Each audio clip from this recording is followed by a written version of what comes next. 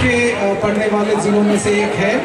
यहाँ पे इनके पास पाँच एकड़ ज़मीन है जहाँ पे पानी की व्यवस्था नहीं है। लेकिन वहाँ घाटे की खेती जो चलती थी उससे बाहर आने के लिए ये अ, ये बगल के ज़िले में माइग्रेशन करके वहाँ के ईंट के भट्टी में काम करने के लिए गई थी।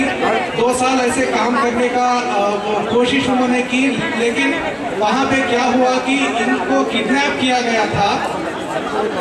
इनको किडनैप किया गया था और सेक्स ट्रैफिकिंग के अंदर इनको भिवांडी लेके गए थे। ऐसे 30 ऐसे 30 महिलाएँ अनंतपुर ज़िले से भिवांडी किडनैप करके अ, गए थे और वहाँ पे इन्होंने दो तीन साल भुगते और उसके बाद यहाँ जो काम करने वाली संस्थाएँ हैं वो एक रेस्क्यू मिशन करके उनको वापस लाने का ये काम करना पड़ा।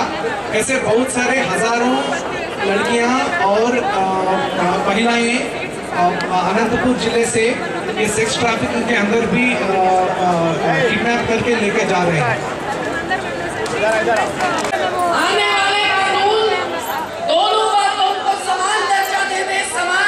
रखे, ये हमारी मांग है। आपको ये बात देवी की मंजूर है, ताकि किसी को पलायन न करना पड़े, अपना घर, अपना बसेरा, अपनी भूमि, अपने बच्चों को छोड़।